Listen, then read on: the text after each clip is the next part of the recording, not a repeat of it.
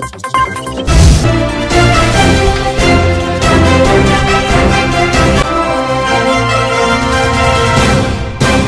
घर द्वार बेचकर ज़मीन जायदाद बेचकर उस डबल मनी में पैसा डाला था।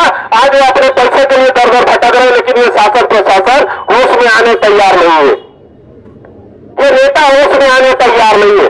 हमने कई बार यहाँ के सांसद, विधायक, बालाघाट के विधायकों को हमने ज्ञापन दिया, मंत्री तक लेवल पे हमने ज्ञापन दिया है। अभी मैंने एक से डेढ़ महीना पहले अपने पाँच सदस्य की टीम जो है, वो मैंने भोपाल भिजवाई थी, जो निंदोरी से हमारे साथी है, प्रेम हनुमत जी, उनके माध्यम से पाँच लोगों की टीम, मंत्री जी के माध्यम से हमने भोपाल भिजवाया था, मुख्यमंत्री जी के पास शिवराज सिंह चौहान जी के पास। उनको जब उन्होंने ज्ञापन दिया बट चेक के बारे में बताया कि साहब, पूरे मध्य प्रदेश में आप एक लेटर जारी करें, कलेक्टर को एक लेटर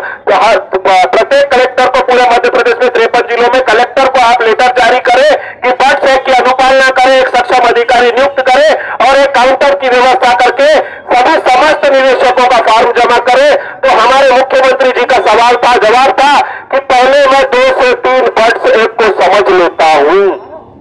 दो से तीन दिन तक मैं बर्ड एक को समझ लेता हूँ।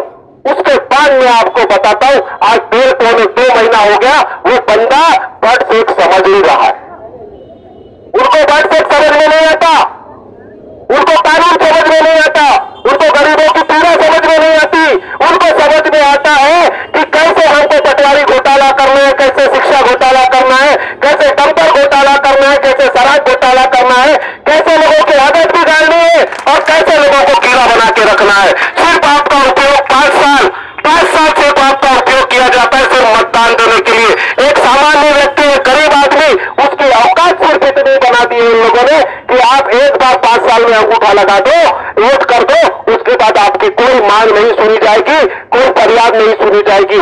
आज एक हज़ार हज़ार रुपए दिया। अरे भीख मांगना सिखा रहे हैं लोग। भीख मांगना सिखा रहे रोज़गार नहीं दे पा रहे जो गरीबों का पैसा कंपनियों में फंसा है शासन प्रशासन के साथ फंसा है, वो पैसे की धन वापसी की बात मत करो इनके साथ। सारी बात आप कर रहे हो, लेकिन धन वापसी की बात मत करो। गरीबों के हक और अधिकार की लड़ाई की बात मत करो। उनके हक के लिए रोज़गार, व्यापार, जो भी है, इसकी बात मत करो। आज यहाँ पर जितने भी साथी उपस्थित है, मैं मंच के माध्यम से आप लोगों को बोल- बोलना चाहता हूँ कि अभी समय है अभी नवंबर लास्ट तक समय है अगले महीने दस तारीख को आचार संहिता लग जाएगी। अक्टूबर में दस तारीख को आचार संहिता लग जाएगी।